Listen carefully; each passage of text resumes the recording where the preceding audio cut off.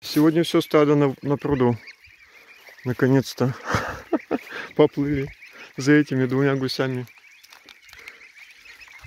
Потом надо будет кормушку принести вот так вот. И это... Они пойдут за комбикормом. Когда найдется ряски. Где-то через часика два. Все, я пошел домой кушать. Готовиться там дальше. Пусть они и кушают.